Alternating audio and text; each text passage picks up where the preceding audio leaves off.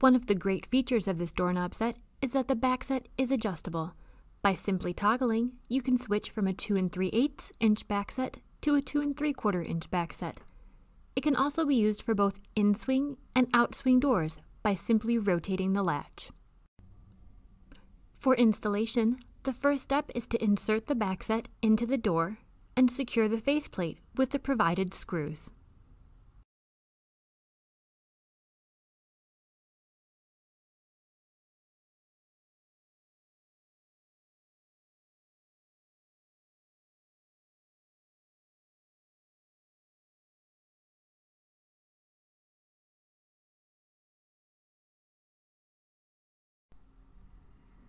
Once the latch is secured, the next step is to insert the receivers into the rosette plate by simply twisting.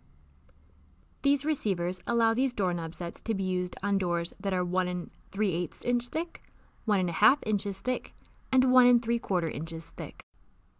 Next, you'll insert this half of the doorknob set through the latch in your door.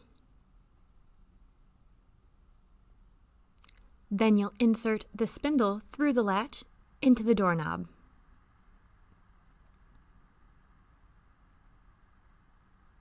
And finally, you'll insert the spindle into the other half of the doorknob set. All that's left is to insert the two rosette screws through the rosettes and to tighten.